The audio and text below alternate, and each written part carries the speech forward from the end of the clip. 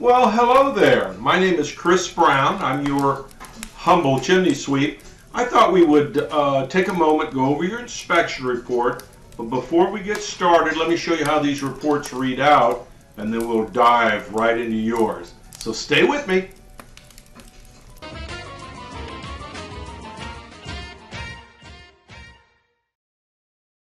Okay, now let's take a look at the inspection report and see how it reads out.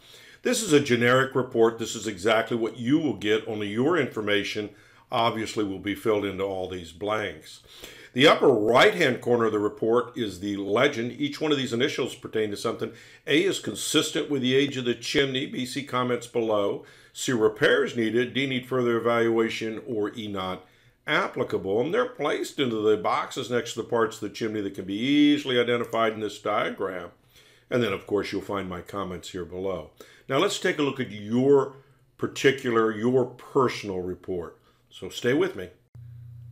Hey, Lisa, it was great to meet with you and see your family out at the house today. Hey, what a nice house, good location as well. Let's uh, let's go inside. Let's take a look at the fireplace itself. It's an open wood burning fireplace. We noted that the uh, hearth extension here should be 20 inches, but when the house was built, uh, 16 was probably code.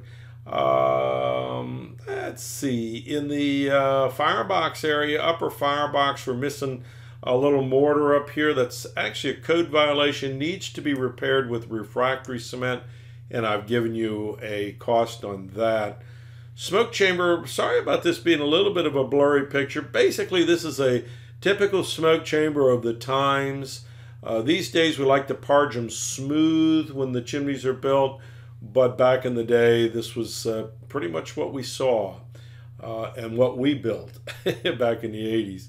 Firebox uh, looks like it's been repaired over the years. I'm not seeing any problems uh, with that. Flue system looks good. Flue and flue joints. Let's go up on top. So we do have a chimney cap up on top, showing a little wear and tear, right? A little rust going on up here.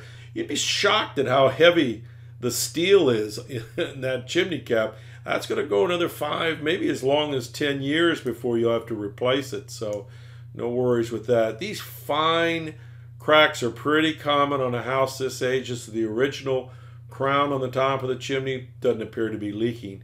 But what is leaking is both shoulders of the chimney. You can see there's Mason made no effort to uh, fill those holes. These are just typical cord holes in a, a brick and he made no effort. So they're probably leaking, certainly need to be repaired, and I've given you a price on doing that.